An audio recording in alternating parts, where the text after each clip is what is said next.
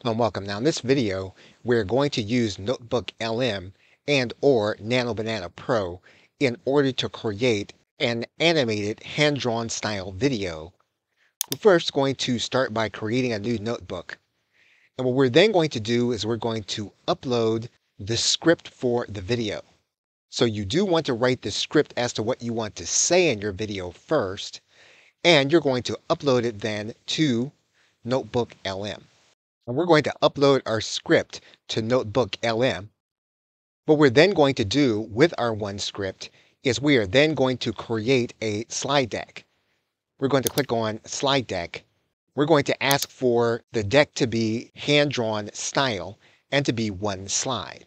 We're going to ask for a short length and we are then going to click generate. Now this process does not occur in real time. So while this is generating, we're going to go over to Google Gemini.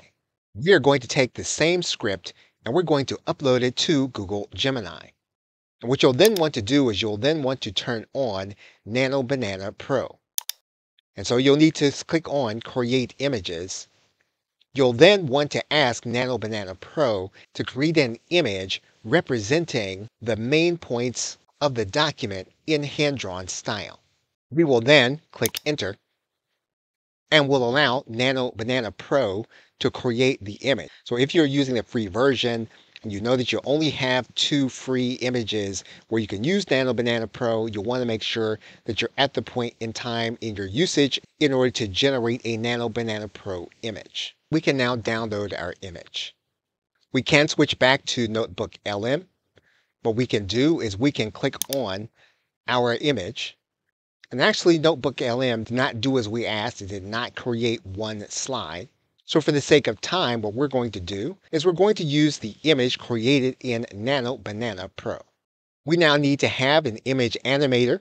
You can use the image animator of your choice. There are plenty of them available. We're going to use speedpaint.co and we're going to click on the image that we just uploaded. We're going to choose the sketching duration. We are then going to choose the style of hand. We're then going to choose our sketching options. We're then going to choose a custom sequence. For the most part, we will leave this as the default setting. We will then click animate. And we will allow Speed Paint to animate our image. So Speed Paint has now completed our MP4 video. It's silent naturally and it's 1 minute and 32 seconds. We're going to download the video. You can either narrate the script or you can go to a site like 11 Labs and have it narrated. Naturally, it's better if you narrate it yourself. However, you may not like your narration voice or you may not have time. And so if that's the case and you can find a decent voice, you can use 11 Labs in order to narrate. So now that we have a video, we now have an audio. We can use an AI video editor like Pictory that will match your script to the audio. We're going to click on text to video and we're going to paste in our script. Inside of Pictory, we're then going to click generate video. We're going to choose one of the themes and we're going to allow Pictory to set up the themes. Once we're inside of Pictory, what we're going to do is we're going to link the scenes together. We're then going to upload both the image and the MP4 video that we created in SpeedPaint. We then want to paste in the image. And because we link the scenes together, the scenes are going to run consecutively while the handwriting appears. We can now do is we can go to the audio tab. You now want to upload the audio you produced. Now the audio that we're uploading is not perfected. We did have this narrated in 11 Labs. We're now going to upload our audio. Once the audio is uploaded, what we can do is we can then click apply. We want to apply the audio to the entire video. And once we do this, what Pictory is going to do is preview the video. Now we will only watch a few seconds of the completed video, but you will then have the entire process of creating an animated video using a Nano Banana slide. We're now going to click Entire Video. How to turn master resale rights content into AI software without programming.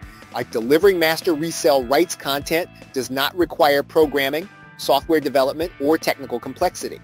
With the right AI tools, you can turn existing content into an interactive experience that feels like software even though it is powered entirely by documents. So that is how you would create the video. And obviously, the most important element of this is to make sure that your audio is going to be perfected. But what Pictory does is it matches the audio to your script and allows you to place your video inside.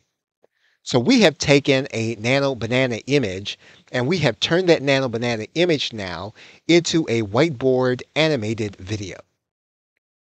Okay, so that thanks and I will see you in another video.